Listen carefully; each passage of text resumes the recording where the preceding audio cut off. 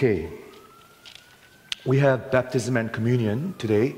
So um, I was going to uh, talk about lovers of self rather than the lovers of God in one session, and I, I don't think I could do that. So I decided to make it in two sessions. I want to talk about uh, lovers of self, and then next week I want to talk about lovers of God.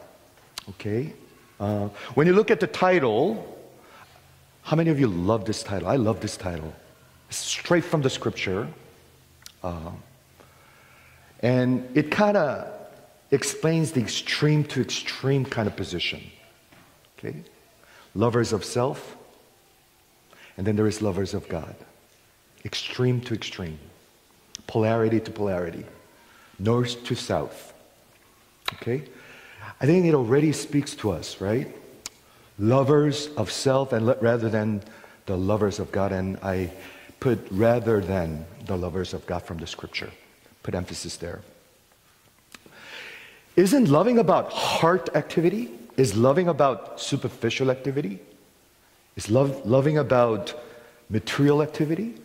You buy flowers, you buy nice dinner. Is that loving? Absolutely not. You know, I, think that's one way to express your love. But love is about the heart, right?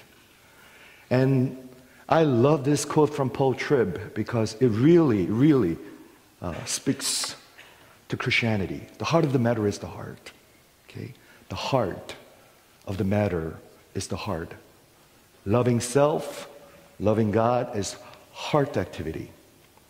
Loving your wife, loving your neighbor, neighbors is heart activity. Right? So just want to start from that. And I want to read this text that Jay read so beautifully. Um, I just really analyzed that and put it, uh, put it together. And read it from 1 through 5. One more time. Okay, look at this uh, screen. This is uh, third chapter of Second Timothy, uh, the last letter of Paul, Apostle Paul, who wrote 13 books of the New Testament. There's no one like him, 13 books. Okay? No one like that in history. But God graced him, this someone who's supposed to put to death by God.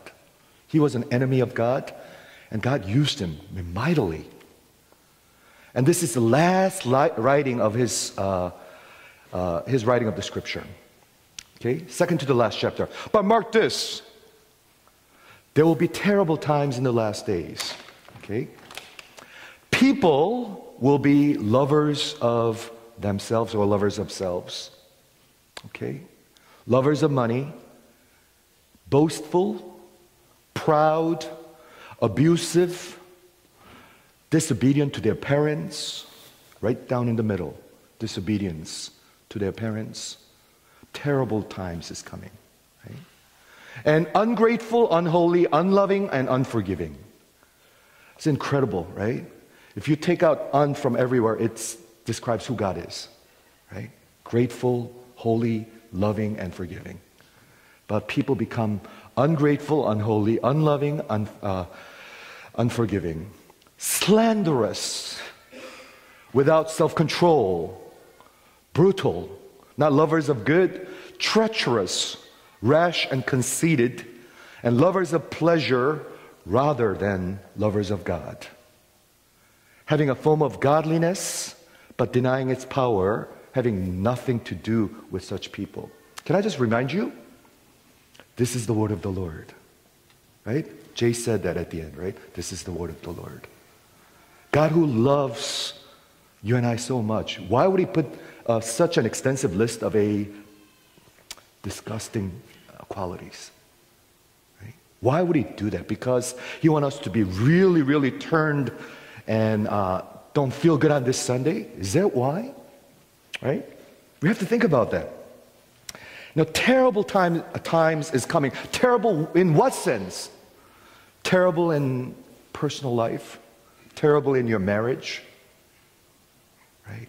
Terrible in your family, terrible in community and society and the city and the nation and between the nations. It's crazy what's going on in Syria right now. It's, it's unbelievable if you care, right? It is just unbelievable what's going on. Terrible time is coming. Why? What's so terrible, uh, terrible about this terrible times?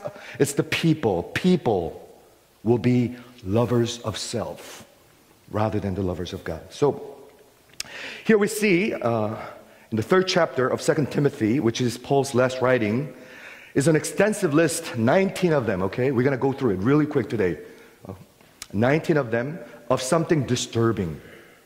And I want to just remind you, it was inspired from the heart of God to his people because he loves you. Because he loves you. Because scripture is like a mirror, isn't it? It's like a mirror. We're going to talk about that, lovers of God, next week. Until scripture is open and you see the mirror of yourself, you will never go to God nor appreciate mercy at all. Right? What's so great about mercy and grace if you're such a great person? Right? So, God, through hand of Paul, he wanted uh, to write this because he loves us. And, and the list describes the people, maybe you. 19 items, maybe nine, all of them, maybe some of them. I don't know. I was meditating on this. I'm like, I could probably go with most of them, if not all of them. All of them in me. Right? So, in the last times, what does that mean? You know, we get kind of scared with that word, latter days or last days. Biblically speaking, theologically speaking, when Christ first came until Christ returns and consummate the world and history and come back as a king and the judge, anything in between, we call that latter days. Okay, we are living in the last days. We need to understand this, okay? And he's going to come this time uh, as the king and as the judge, judge the living and the dead, and that is the gospel. Friends, you need to live in light of that. I need to live in light of that, okay? We do not know exactly when he's coming back, but we know two things for sure, I think. You know, number one, it is 2,000 years closer than when this was written. 2,000 years closer right now. So it's getting there. Okay? And secondly, Bible says the coming of the Lord is near. Okay? So I just want to start with that. Okay? So let's uh, let's talk about this lovers of self. What does that mean? Is that so bad? Lovers of God and everything in between 17 items all describes not spectrum, but everything describes lovers of self. And then there is lovers of God. It's 18 to 1 ratio. Okay? That's what it is. So, what does that mean? Lovers of self versus lovers of God. Lovers of self is uh, uh, what is self love? Is that so bad? Don't we supposed to love ourselves? Is that what the scripture is speaking about? No. John Calvin, the reformer, explained it this way. For so blindly do we all rush in the direction of self love that everyone thinks he has a good reason to exalt himself. Therefore, Oh, no, there is no other remedy than to pluck up by the roots the most noxious pest, self love, John Calvin. It's a pretty reliable name, okay? What is he saying? You know what self love is? He's saying self love is something deep inside of us. We want to exalt ourselves, we love ourselves, we want to worship ourselves. Who does? Every single one of you and me. Okay? Let me use one more quote. Me is always at the bottom of all sin. Did you know that? Right? It may spell drink, lust, pride, covetousness, self will, um, but it is some form of me. Okay? At the root of every sin, every form of sin, 17, 18, 19 things that we just read, at the bottom of it, at the root of it, me. Me. Okay? So I love the summary of Paul Tripp, and I think this is so helpful. If you could understand this, it really makes a difference in your Christian walk. Okay? Sin is extremely selfish. All you see is you. That's what sin is. Okay? Sin is you think you own the world. You think world revolves around you. You think I need to be the king. I need to be the God, actually. That's what sin is. Okay? Selfish, which means self centered, self focused. And therefore, it is idolatry, idolatrous, which means worship of self. That's a, that's a pretty heavy word. Self worship. Okay, Paul Tripp. Okay, self worship, idolatry. Is that, is that really bad? Okay, let me explain this. Uh, and this is a little bit theological, and which is a little bit of preview of what I want to run for next several months uh, through the class of attributes of God. Because we really need to understand this. Okay? And we human hearts, all of your heart and my heart, husband's heart, wife's heart, father's heart, children's heart, are we desire autonomy. Okay? Auto means self. Nami autonomy, autonomy. What does that mean? It means self-rule, self-govern, self-worship. That's what it is. We desire that. All of you and all of me. We were born like that. How many of you, fathers, teach your children to rebel against you? Right? You need to, you, you need to rebel against me. You need to get up and you need to cry in the middle of the night. How many fathers teach their children? Nobody, right? But we automatically born with it. It's in our bone, it's in our, in, in our blood, and it's in, in our DNA. I think that just covers, you know, everything. Okay? Self worship, is that true? Is that so bad? Our heart desire very, very strongly, and we human beings desire autonomy, which means self rule, self government. We human beings are all rebellion against God. You know why? You know why? You know what the problem is? Here's the problem. What is the problem? When we want autonomy, we want to rule, we want to be, we want to be the king. What is the problem? You know what the problem is? God is the problem. That's a big problem. Right? What do you mean? He's the problem. Because by definition, God is sovereign and God rules. And we want to rule and we want to be sovereign. Do you see the, do you see the problem? Okay? Come on, people. You got to see this. He is sovereign and he rules. And we desire so strongly to rule and we want to be sovereign, right? Self worship is condition of human heart and every human heart. It's your heart do you ever wonder why marriage is so difficult? Do you ever wonder why parenting is so difficult? Do you ever wonder why living in this world is so difficult? Right? It's the human hearts. We want to be sovereign ourselves. And therefore, here's a big statement, okay? We hate God for it. Bible says we are haters of God. You know? I think another way of saying lovers of self and lovers of God is object of wrath and objects of love. Those of you understand it, right? From the, straight from the scripture. Lovers of self, God, it's God's object of wrath. It's His holiness. He hates sharing His sovereignty. He's God, and we are not. And we desire that. We, we fight for that. We desire deeply from deep within us. Uh, we desire that. That's a big problem, okay? Let me give you an example, and this is Jim Boice's uh, um, example, Pastor Jim Boyce, Okay? And we go back to Genesis chapter 3, simple story of Adam, sin, how sin came into the world. You know, do you remember God created Adam? And God gave him everything. Okay? We always remember one tree, but God gave him everything. God gave uh, him everything, free to rule everything in the world, free to go anywhere in the world, free to do anything you wish, free to eat from anywhere in, in, in, the garden, anywhere. In other words, Adam had everything. He had a sovereignty under him. He was a steward manager, right? But only one condition. What was that condition?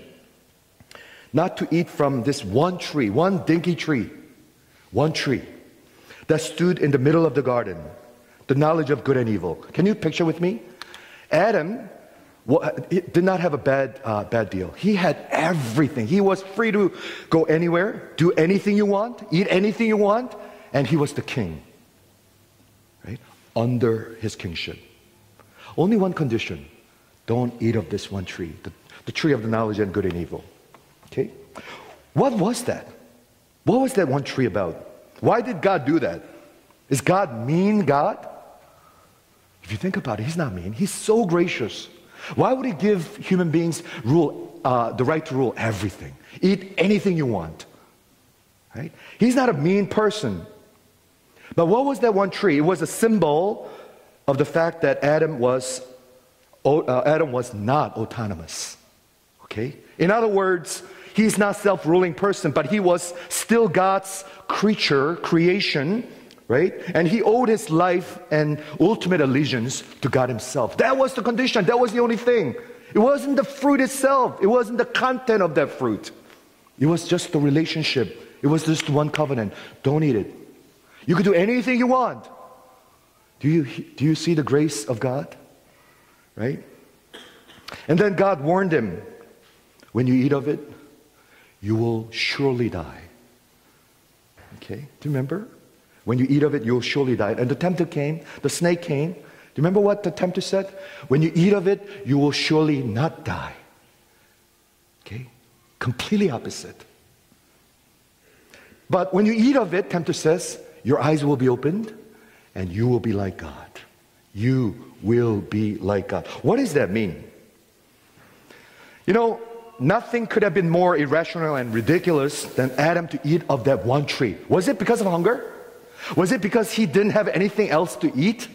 What was it? It was so irrational and ridiculous.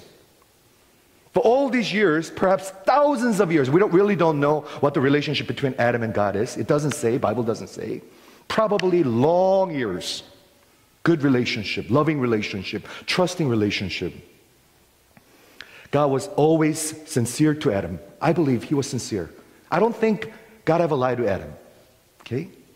Not only that, God always was caring for him. Therefore, Adam owed God unquestioning obedience. Don't you think? Absolutely. And God warned him, don't eat it, Adam. Don't eat it. If you eat it, you will surely die. You will surely die. You know, there's nothing to gain from eating that one fruit right? It was so irrational, so illogical. Then what triggered it? What triggered this desire to eat that one fruit? It is, it is through, though he had everything, Adam had everything, this one tree, still Adam looked at that tree and it was an offense to him. You know why? Because he desired to be autonomous, right? It meant limitation. It meant I can't do this, beyond this. It represented something that he, he was not allowed to do. And Adam said, That tree is an offense to me and to my autonomy. That's the kind of heart we have, right? Until I am allowed to eat from that tree, I feel less than human and I feel diminished. You know what? What the heck? I'm going to eat it and I'm going to die and I'm going to become a God. That's what sin is. That's the condition of human heart. That's your heart. Lovers of self. That's my heart. I'm not exaggerating. You probably think, oh, Pastor Paul is, I think he's too hyped right now. I'm not. Until you see it, cross doesn't mean anything. What's, what, what does cross mean to you? Right? It means nothing, right? Unless you see the real me.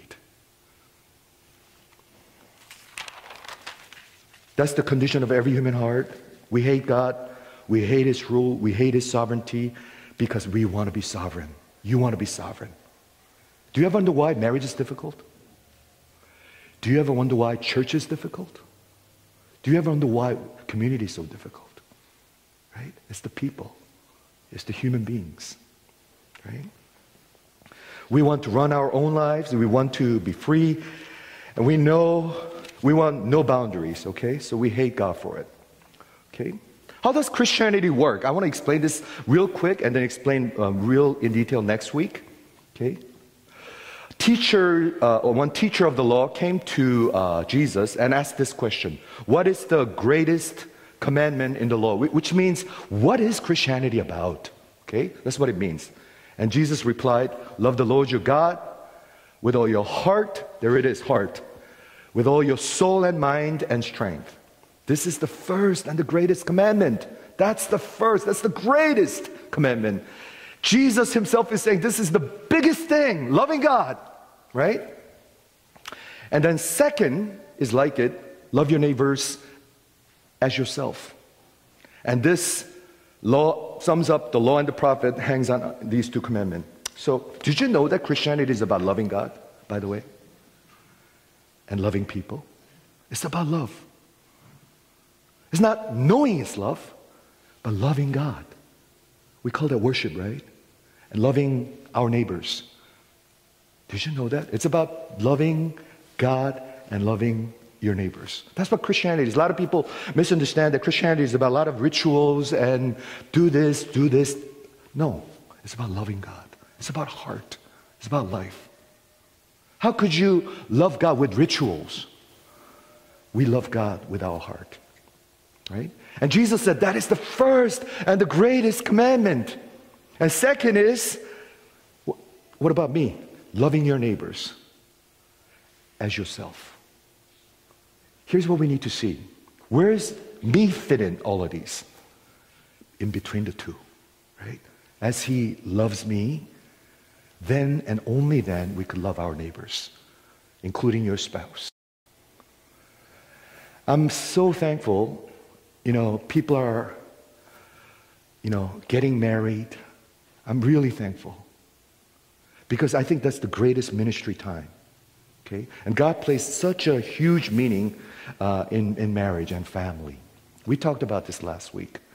But can you imagine two self ruling sinners and try to, uh, try to manipulate each other and try to do marriage? Can you imagine that kind of marriage?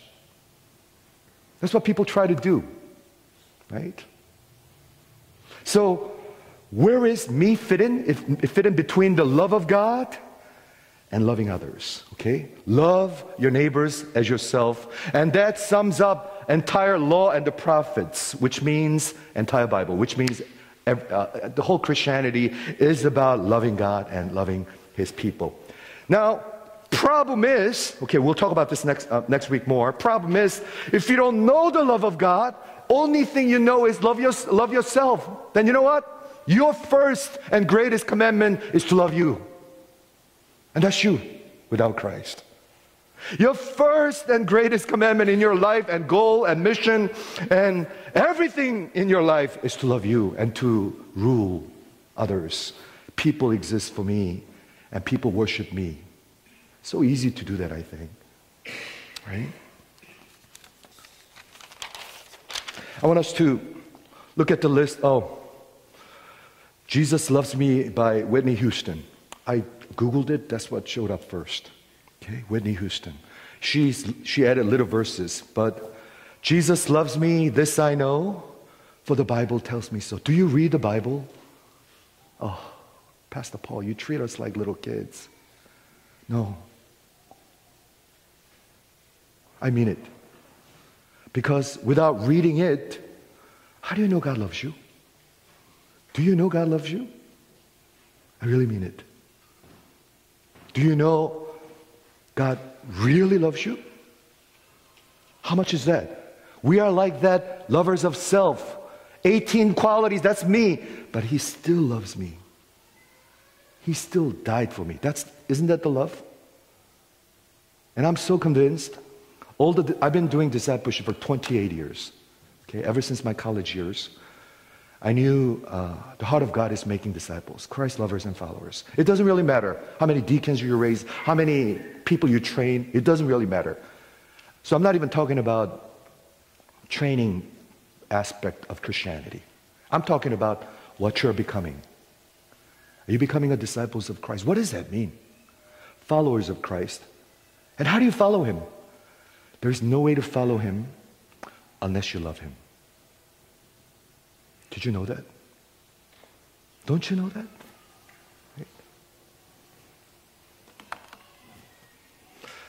Jesus loves me, this I know, for the Bible tells me so. Little ones to him belong, they are weak, but he is strong. Yes, Jesus loves me. Yes, Jesus loves me. Yes, Jesus loves me. The Bible tells me so. Do you know? My brothers and sisters, do you know? Because how do you love others otherwise? What do you mean you love your wife? Are you kidding me? We're so self centered, self worshiping, idol, idolaters person. That's why people are bitter toward one another. That's why people just hate one another. Bible really speaks to me. Speaks to his people that I love you. Although you are the scum of the earth, I still love you. That's what Christianity is, isn't it? Bible needs to be open in your life. Disciples, if you want to follow Christ, Bible needs to be open. There is no other way. Okay? I want to go over 19 things real quick. Lovers of self. Next on the list is lovers of money. We hate that expression, right? Especially in US, the most materialistic culture in the world in history, right? Right now. Imagine self-loving, loving yourself and greed. Do you think they go together? Of course. How many people you know who shops all the time for someone else? Right? It's always self love, selfish love, and it's always greed. It's dangerous. Right next to it. Boastful, okay? Someone who loves himself so, exalted himself, full of himself, observed himself, always boast. That's the external manifestation of what is really happening in the inside. Do you know any, anybody like Are you like that? You know, think about that.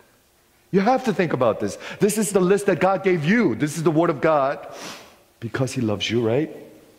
Boastful, outward, external manifestation of boastful. The word braggart. Okay, I gotta explain this.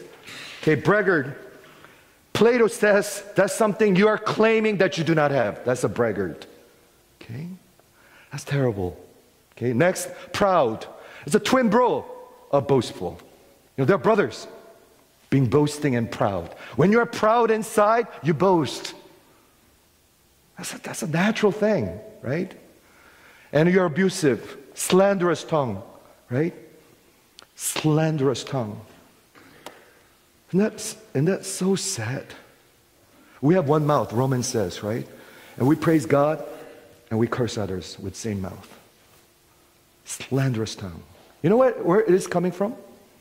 Right here. right here. Slanderous tongue comes from right here. Fountain of life, your heart. Okay? I isolated this one a little bit because I think we need to pay attention to this one. Number six is disobedient to parents. I don't know what your relationship is like to your parents. I don't know what your relationship has been like with your parents. Right? I know there are a lot of faults I'm the fathers. I'm a father. But what about you? Are you a saint? Right? Seriously. Disobedience to parents.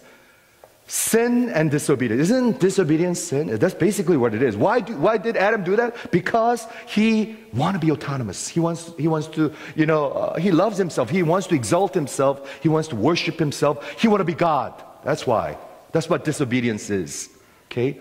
Children rebelling. You never teach children to rebel, but they know how to do it. They know how to do it well. Right? They know how to do it really, really well.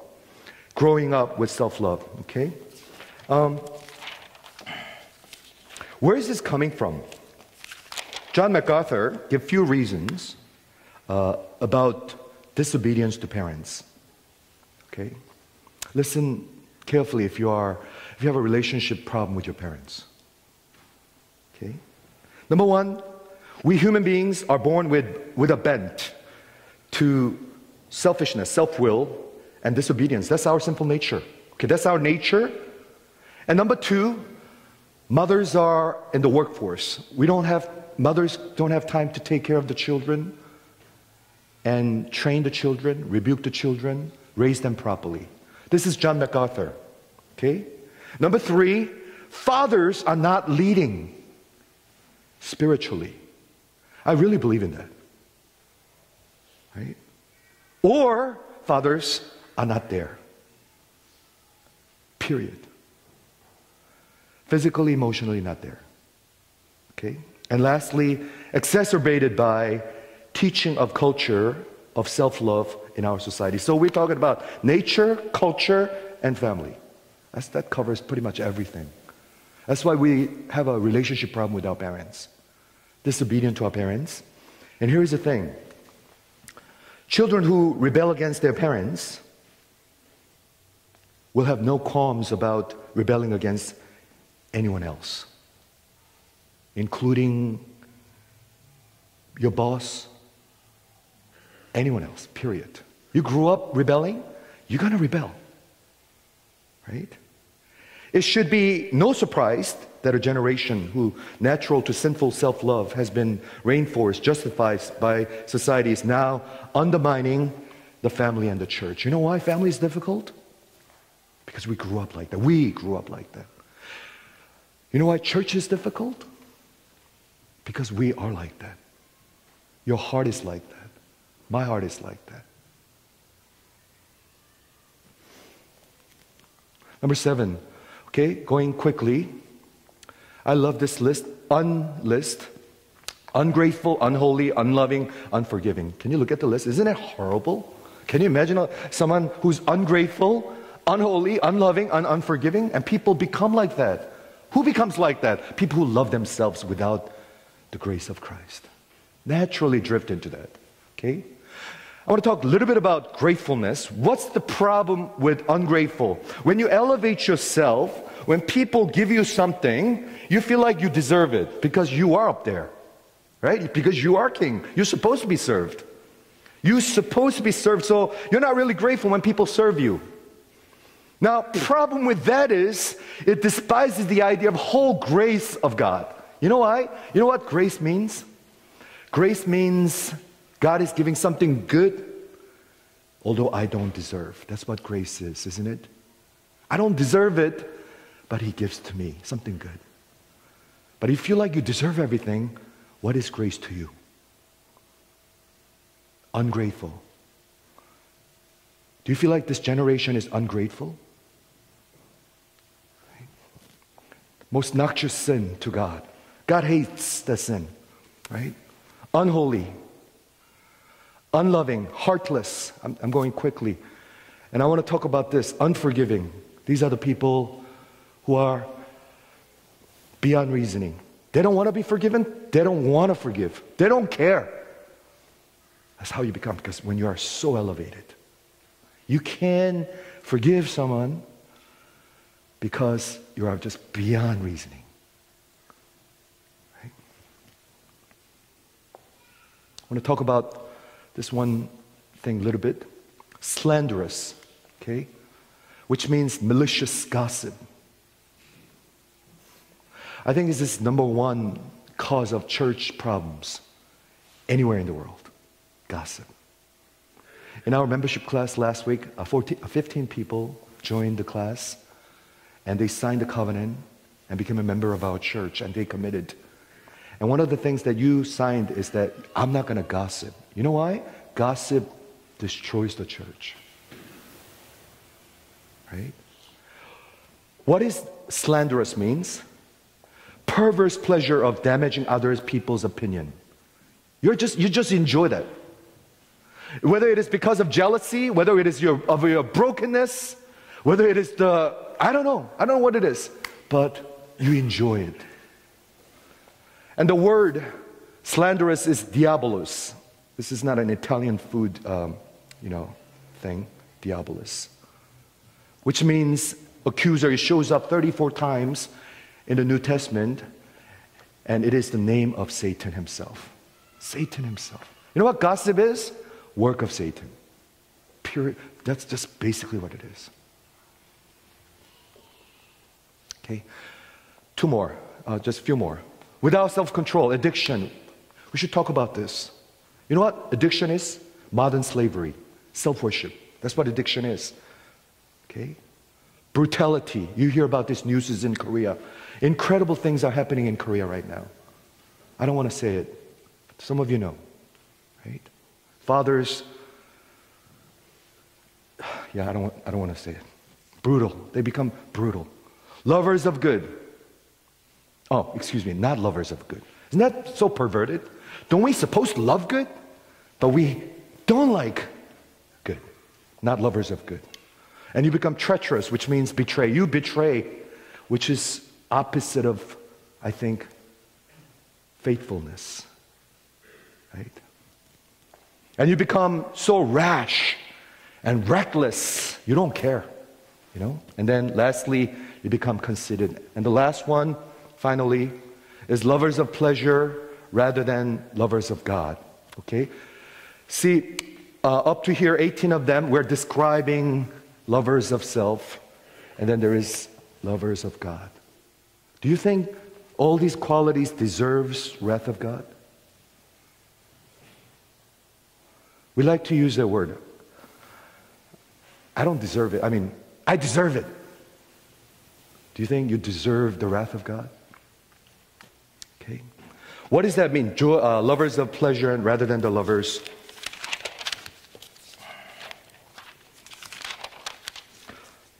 lovers of God. Okay? Lovers of pleasure, it doesn't mean you just enjoy like going on a vacation and you party and drink whatever, but it's a perverted joy because of your, your nature of your heart. You enjoy and get satisfaction from malicious gossip, brutality, and treachery, a depraved pleasure, if you, pleasure, if you will. And what I want you to focus is lovers of pleasure, not more than God. So you love God this much and you love pleasure this much. No, it doesn't say that. You are lovers of pleasure rather than God.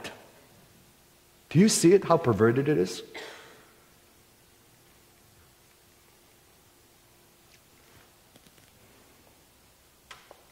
Jesus uh, described it this way in John's Gospel The light came into this world, but people love darkness more than the light.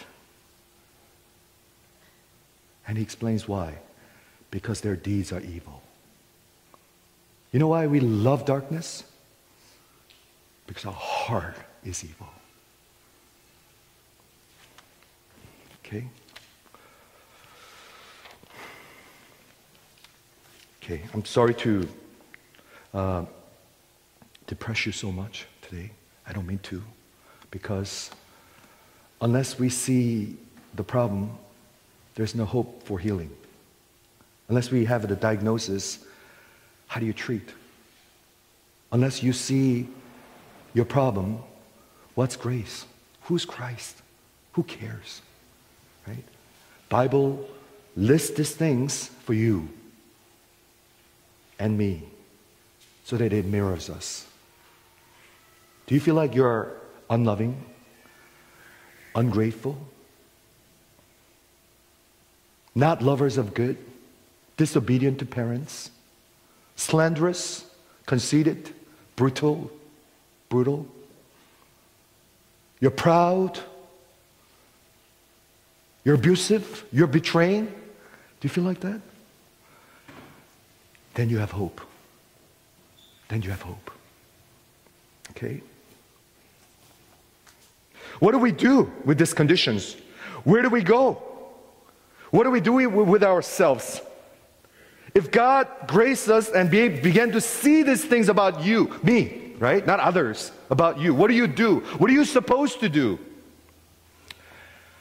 If anyone wants to be my disciples, or different version says, if you want to follow me, Jesus said, three things. Deny it first, you must deny yourself, take up your cross daily, and follow me. Now, I always wondered what this meant. I really wondered, okay? Taking up his cross, following him. But what does that mean to deny self? You must deny self. There's no stronger expression in the Bible, in the scripture, that's, uh, that more than must. I think that's the way English language is too. Is there anything stronger than must? Jesus said, You must. You want to follow me? You must deny yourself. I think the key word is deny. Okay?